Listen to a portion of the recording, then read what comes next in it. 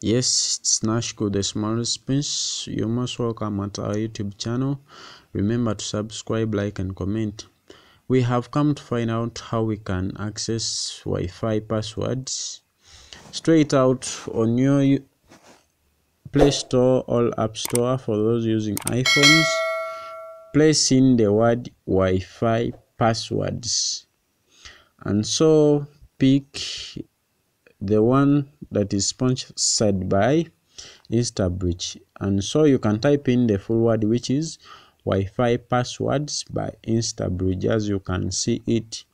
Then you have to install this app as usual that every app you need to use you have to install it in your phone all your gadgets Don't forget to subscribe like and comment. You can also check us on facebook nashkul instagram nashkul twitter nashkul and whatsapp which is 0708 for any concern or any inquiry. And as you can see our app is being installed. It takes some time as you know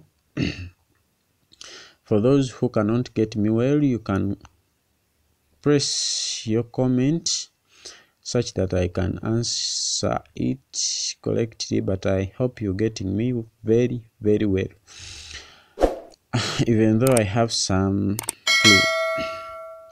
And so as you can see our app is being installed. As you know it takes some time to get installed. Don't forget to subscribe like share and comment. You can get us via facebook instagram whatsapp and facebook.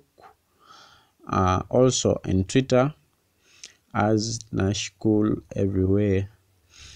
And so as our app is being installed my whatsapp number is 0708 0026 for any concern from you our viewers. So our app is being installed. As you can see it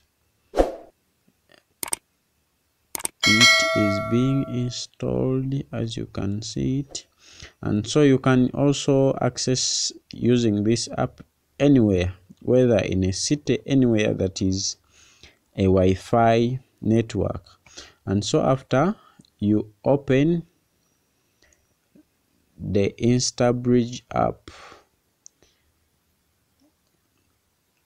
as we are opening it i said it takes some time. So we press continue. For that case we have to press continue and we allow instabridge app to as in we turn on let access sorry in order to access the wi-fi networks. So they are telling us to sign but you can ignore that for the time being. You also you can skip that so finally we are at skip also that. And finally we after skipping that on the awaited thing that you can see many it is giving me many wi-fi networks and you can see that blue blue dot shows that i'm connected to that respected wi-fi network. And for the green green dots they always represent they representing they are representing those networks that are always on. And on checking the map we can see it is trying to load wi-fi spots.